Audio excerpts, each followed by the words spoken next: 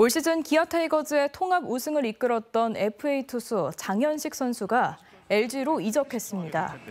장현식 선수는 LG 구단과 계약 기간 4년에 계약금과 연봉을 합쳐 총액 52억 원의 계약을 체결했습니다.